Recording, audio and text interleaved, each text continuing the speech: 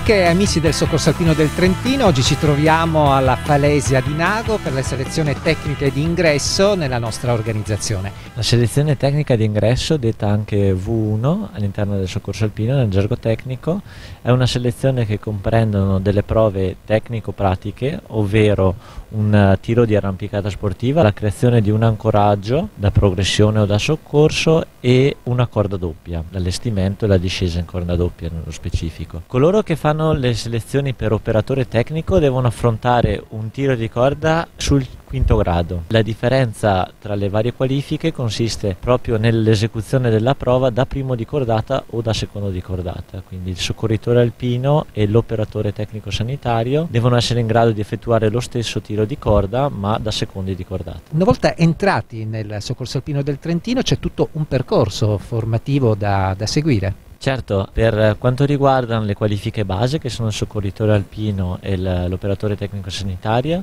devono affrontare una selezione che è proprio la V1 solo della parte estiva e da seguire devono eh, seguire un percorso formativo che dura all'incirca una decina di giorni e sottoporsi poi a una valutazione finale che dà loro la qualifica finale. L'operatore tecnico invece le cose diventano leggermente più complicate poiché c'è anche una selezione della parte invernale ovvero sono delle prove pratiche sugli sci e sul ghiaccio e delle prove di ricerca in valanga.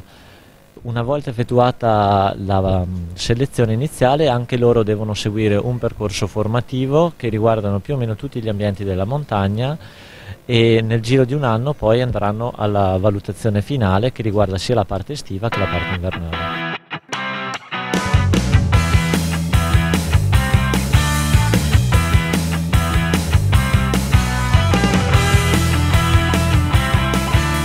Ma perché hai voluto fare le selezioni d'ingresso per il soccorso alpino? Che cosa ti anima? Qual è la tua motivazione principale? Ma io ho un amore per la montagna che non ha limiti, sono sempre a arrampicare, a far vie lunghe, a sciare, ghiaccio, un po' di tutto, e... però ho visto anch'io che molte volte ci si trova in situazioni un po' incomode, può succedere anche una disgrazia e quindi ci devono essere delle persone pronte, preparate, volenterose di venire a salvarci e quindi spero che tutte le persone qua presenti che fanno richiesta di entrare non lo facciano per portare una divisa ma per fare del bene e per andare a aiutare delle persone che come noi condividono la nostra stessa passione e non andate esattamente come doveva andare quel giorno. Le motivazioni che ti hanno spinto a partecipare alle selezioni tecniche? Sicuramente la voglia di fare un'attività di volontariato che che si accordasse con le mie passioni e quindi la voglia di aiutare e allo stesso tempo di poter stare nella natura come piace a me. Luca Lectal, dal parquet della pallacanestro al parquet della roccia, da dove nasce questa passione? Mi è sempre piaciuto e affascinato il fatto di poter aiutare qualcuno che è in difficoltà, questo l'ho sempre avuto come indole. Il soccorso alpino ti permette di, di rimanere a contatto con la montagna e comunque poter anche trasmettere la sicurezza, conoscere bene la sicurezza in primis e trasmetterla ad altri tramite questa organizzazione. Allora si può dire che hai fatto canestro anche oggi? Sì, assolutamente. Ezio Parisi, vicepresidente del Soccorso Alpino del Trentino. Oggi stiamo partecipando alle selezioni tecniche di ingresso, un momento molto importante per il Soccorso Alpino perché è il nostro futuro. Certo, molto importante e qui mettiamo le basi per garantire il turnover fisiologico ovviamente che, che, poi seguirà e porterà avanti il soccorso alpino.